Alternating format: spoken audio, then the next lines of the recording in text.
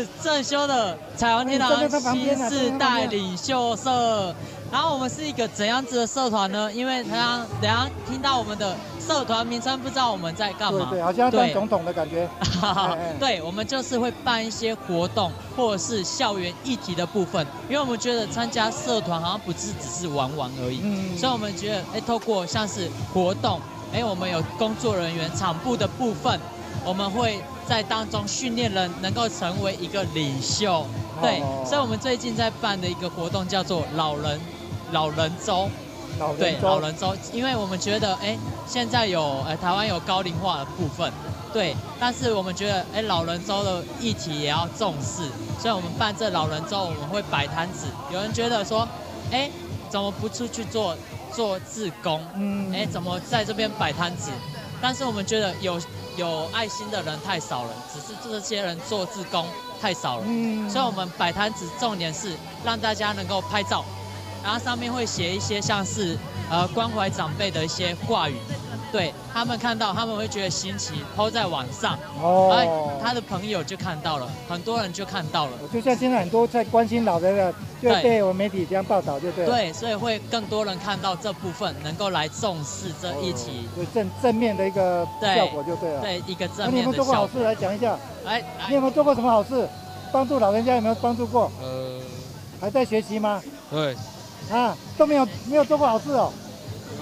有有做过什么好事？帮助老人过吗？关怀老人吗？有啊有啊有去做志工啊。啊。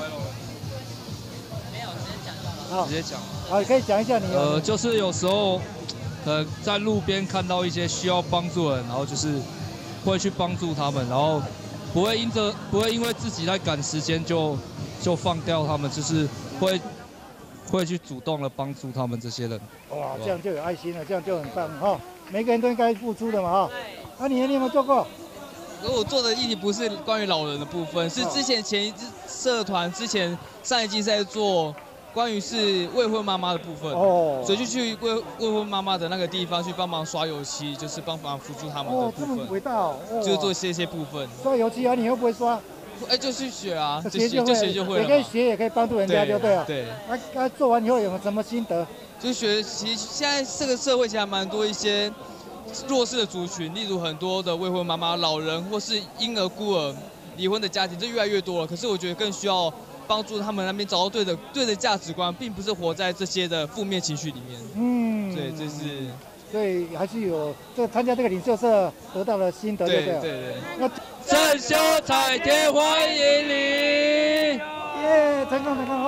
社区型的那也有弱势团体，弱势社区发展协会，然后邀请你们过去帮忙的话，你们会不会愿意？也是说，哎，空余的时间，然后过去照顾单亲家庭，就类似课后辅导的这些方面的事情。哦，会不会吗？会不会？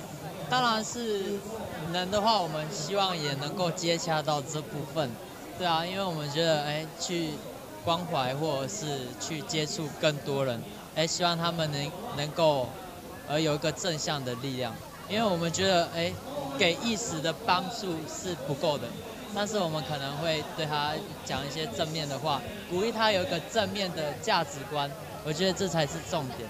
对，太有爱心了，太有爱心了。太有爱心了，OK，好，谢谢。大寮内坑里很需要你们这年轻的。哦。对啊。哦。那社区的话也有很多单亲的课后，就是会去那边，可是就缺乏说大学生去那边课后辅导啊，小学生。哦，你们给他一个力量，太太棒，太感动。对啊，你们给我一个力量，很感动。那以后我们成立那个社区的时候啊，请你们过去帮忙协助啊，谢谢。好，谢谢，谢谢。谢谢。我，这个要给他鼓励一下，这个好。鼓励，加油。